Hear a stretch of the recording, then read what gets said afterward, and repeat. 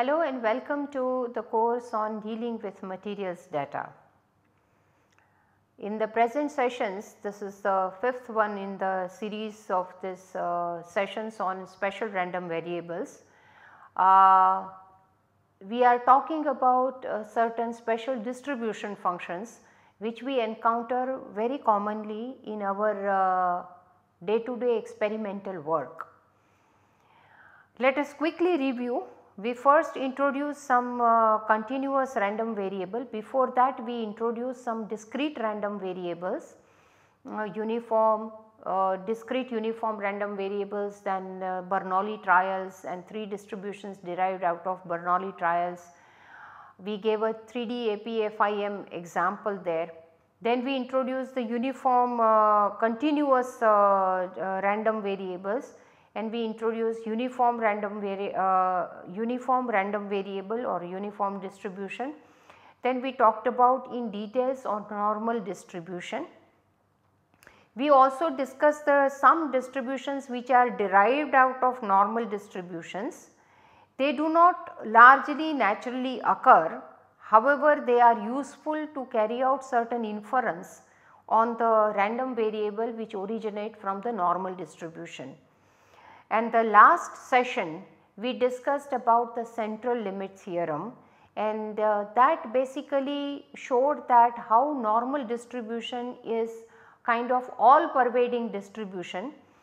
Uh, primarily because uh, it said that uh, with the condition that it has a finite variance a large number of random variables coming from uh, independent random variables coming from identical distribution and if you take uh, its uh, mean value then as n tends to infinity roughly we can say that uh, the mean value tends to normal distribution with the uh, sorry the average value of the random variable follows the normal distribution with the common mean and the common sigma square divided by uh, n or the random vari the average minus the mean divided by its variance follows a standard normal variable that is the correct way to put it. Now we are going to come to some of the distributions which are imp of importance to metallurgical and materials engineering and that is very specific but in, in, in general it is good for the engineering distributions or engineering data. The two distribution that we wish to introduce right now is log normal distribution and Weibull distribution and then we will follow up with the exponential distribution which is a special case. Uh, why this special uh, treatment to some of this distribution particularly coming from a metallurgical engineering data? Well, normal distribution is a widely applied distribution Central theorem makes it almost all pervading distribution. However, it has a one limitation with respect to engineering data. In normal distribution, the random variable varies between minus infinity and plus infinity. It means that it can take any value from the real line. While data from metallurgy and material science generally take on only positive values. Now it, you may assume the distribution to be normal and carry out your inference. Sometimes you encounter a very absurd result and it may amount to the fact that you have assumed normality which takes on all kinds of values from uh, negative infinity to positive infinity and therefore it creates this absurdity. Second thing is that this metallurgical and material science data in particular it has been seen that they have they are generally a skewed data. They are not beautifully symmetric bell shaped uh, histogram, they do not represent those such beautiful histogram, they generally represent the skewed distribution. Also to apply the central limit theorem as we said if the distributions are skewed you need at least 30 data points or At times you may need even more than that if the skewness is very high. In that case such a data availability in material science and in particularly in metallurgical engineering is very rare.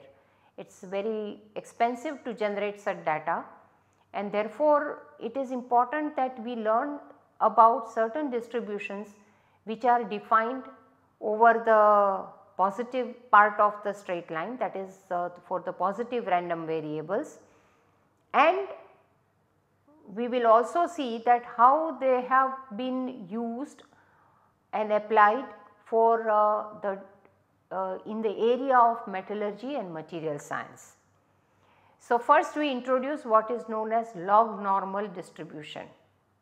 As the name says it is a positive random variable a, which has the natural log of that random variable follows a normal distribution then you say that x has a log normal distribution. So, there is a random variable whose natural log follows normal distribution then we say that x follows log normal distribution. Such a distribution's PDF is given in this manner. You see that this x is replaced in the this exponential part is same as a normal distribution where x is replaced by ln x and this part is also the same as normal distribution however we have a denominator multiplied by x is because the derivative of ln x is 1 over x dx and therefore it comes x here. Here also the two parameters are there one is a mu and the other is sigma. Mu is a mean value of ln x and sigma square is a variance of ln x Therefore, mu varies between minus infinity and plus infinity and sigma square is always positive. The notation we use is x is distributed as ln mu sigma square there are two parameters to it. Here I have shown you some of the plots I have picked it up from the Wikipedia. Uh, the reference is given here. Here what I want to show is that uh, the mean value is kept as 0 and the variance of the normal part of the distribution is varied from 1 to 0.5 to 0.25 and you can say that with the change in sigma value remember that this is not sigma square this is sigma. So, if you try to regenerate it please make sure that it is with uh, sigma and not sigma square given here and then uh, you can see that as the sigma changes the shape of the curve changes as the sigma becomes smaller the curve becomes more and more skewed. And also please notice that this is always skewed towards the right. Log normal distributions are always skewed towards the right. As sigma you can see that when sigma is 0.20, 0.25 it comes very I think I made a mistake in my first statement as the value of sigma increases the skewness decreases. When sigma is large the skewness is large and the, when the sigma is small the skewness decreases and you can see that here at uh, sigma equal to 0.25 this is almost like a normal distribution curve but there is you can see the tail part of it and you can make out that it is still a skewed distribution. The expected value is given thus, I leave it for you to derive it and the variance is expressed in this manner. Exponential of is actually the median value of the distribution. So, exponential of mu is the here it is 1. So, this is the median value of the distribution for every distribution this is the median value. So, this is all centered around the median value and median value a number of times is also denoted by L sub 50 and sometimes mu in the all the above equations these equations as well as these equation is replaced by L ln L50 because remember that L50 is exponential of mu therefore mu is log normal of uh, it is a, a natural log of L50. Now uh, please remember here let us come back that uh, sigma square decides the shape of the distribution and therefore here uh, sigma is called the shape parameter. Unlike normal distribution it is not a scale parameter it is a shape parameter. Now if you want to introduce a location parameter then it is a third parameter and it makes it a 3 parameter log normal distribution where the x is replaced by x minus psi where your assumption now is not x greater than 0 but x is greater than psi mu is between minus infinity and infinity sigma square is positive and then the form of the distribution is this. It is denoted as x is distributed as log normal psi mu and sigma square. Uh, let us look at some of this uh, PDF plot.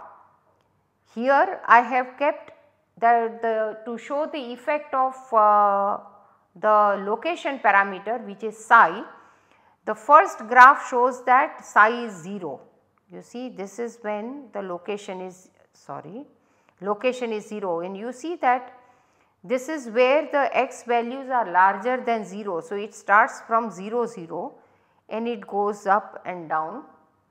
When you make psi is equal to 2 the whole graph is sort of shifted by 2 units and therefore it becomes starts from 2 and exactly the same trend it follows. So, that is why it is called a location parameter because it shifts the location of the uh, plot or, or the of the PDF. This log normal distribution is most commonly used to estimate the particle size distribution. So, uh, another way is also that it is heavily used sometimes to represent the data such as the height, weight of a human being because uh, generally height and weight is uh, modeled as a normal distribution. But as I said height and weight cannot take a negative value at all. And therefore it is actually a positive distribution. It is a positive random variable. And therefore it is number of times estimated. The distribution of height and weight is estimated very well with the log normal distribution. Also I find that the Density is also very well modeled as a log normal distribution. It also gives a good model to express the distribution of fracture toughness, yield strength etc., etc. So, it has a very typical uh, very uh, very specific and many applications in the field of metallurgy and material science. Now we move on to the next distribution which is a Weibull distribution. Weibull distribution is named after a Swedish physicist Waloddi Weibull.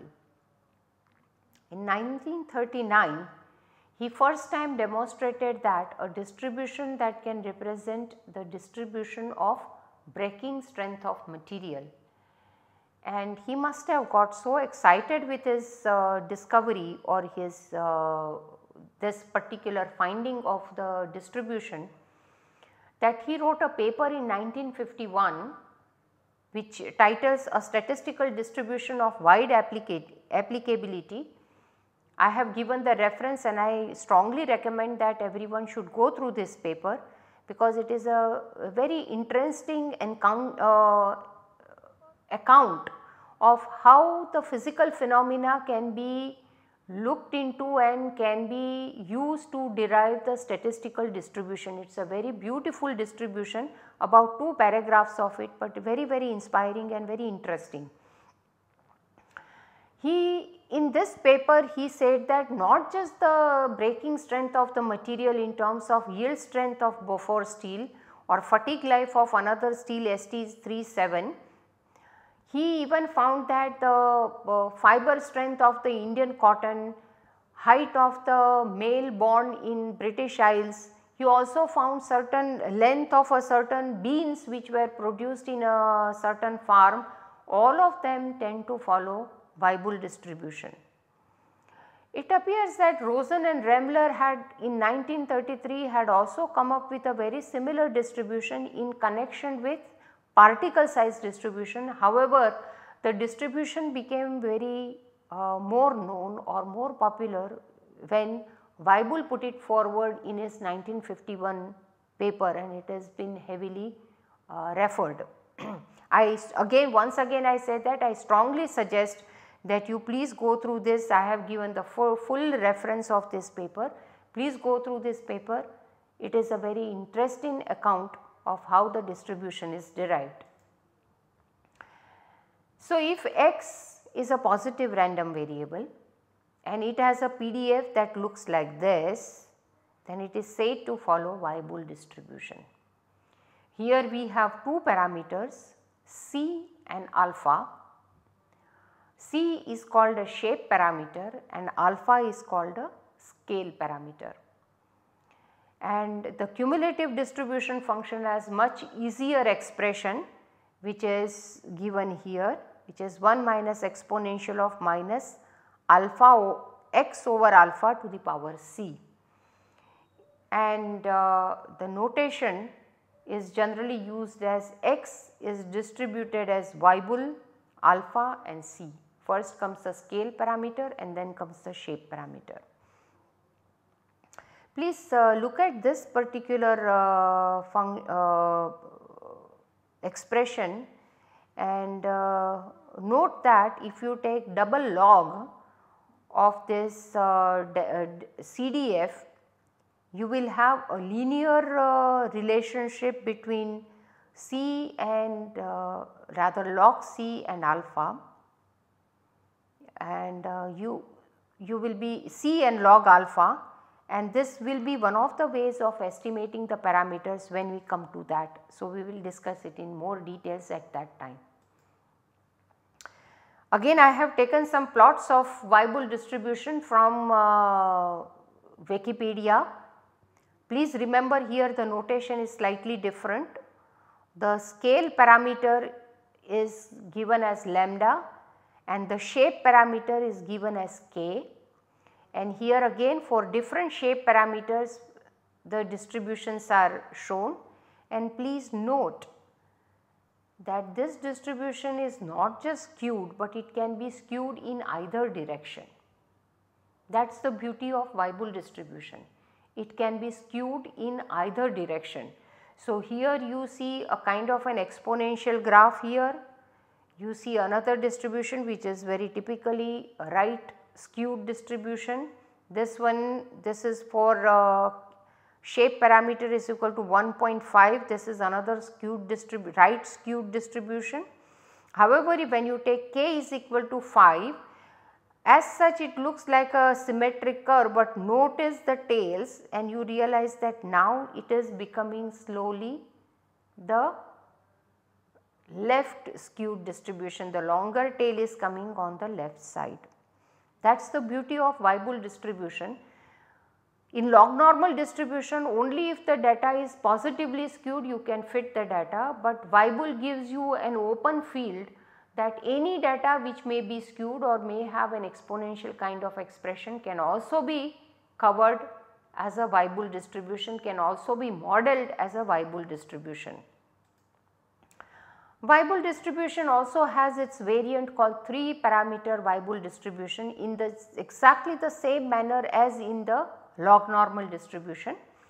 So, there is a location parameter psi and uh, of course psi is greater than 0 and the variable for random variable x greater than psi this is the expression of PDF you please recall that the expression only changes that x has been replaced by x minus psi in all the places and the CDF is also generated in the same way. And in this situation the notation is x is distributed as Weibull, psi, alpha, c. It means that location, scale and shape. How does the 3 parameter Weibull differ? This is a 2 parameter Weibull because I have a psi is equal to 0 and here I have taken psi is equal to 1. You can see that since I have taken the shape parameter to be 8, uh, it is left skewed distribution and it simply shifts its location from instead of starting from 0 I can say that it the, the x greater than 0. So, x starts from 0 onwards here it starts 1 onwards otherwise it has simply shifted. I also want to tell you from the graph that as the value of shape parameter increases the shape changes from the right skewness to the left skewness. So, here also we have have very specifically showed a left skewed distribution arising out of Weibull and how it shifts it is actually a location it shifts the location of the distribution. Now there is one distribution exponential distribution which is very special case of Weibull distribution where the shape parameter is 1. You please recall shape parameter 1 the red color distribution is represented is a special distribution it is called exponential distribution. The random variable is greater x is greater than 0 then the distribution PDF has this form and the notation is given by x, x is distributed as exponential alpha. You can derive the CDF I have purposefully left it out please derive the CDF of exponential distribution it will be a good uh, mathematical calculating algebraic exercise for you. Also please note that before going any further to the memoryless property, you can have a 3 or rather 2 parameter uh, exponential distribution. Here you have only one parameter which is alpha.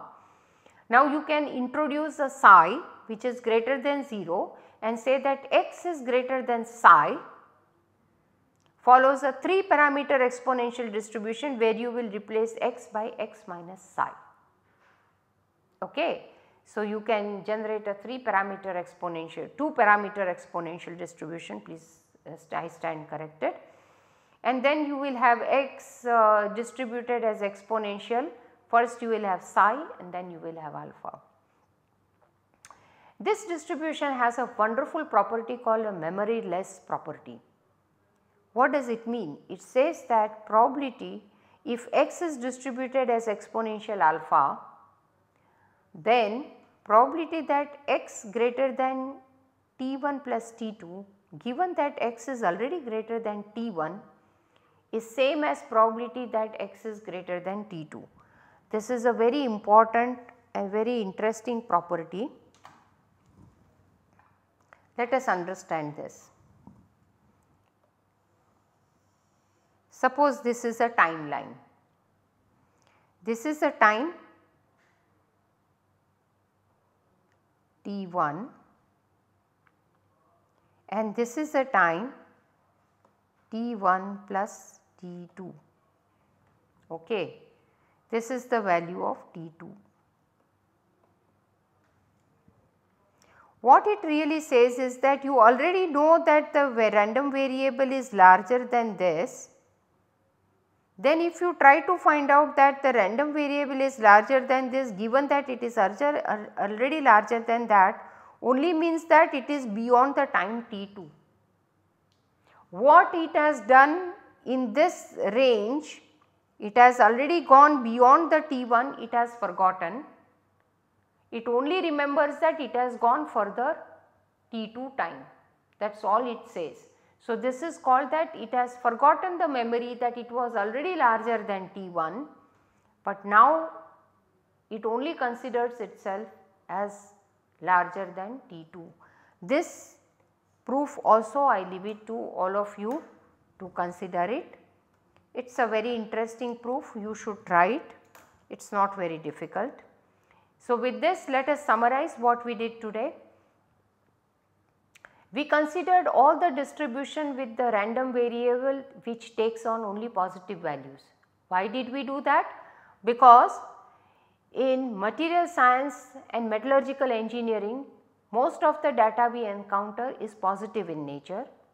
You can assume normality and carry out the inference, but at times you encounter certain absurdity in your results and that is likely to arise because you have considered a distribution which has which is supposed to have its random variable coming from both positive and negative side while in reality you have got the random variable which is only positive. So, we have introduced specifically distributions which have a great applications in the field of metallurgy and material science and it has it takes on a positive value.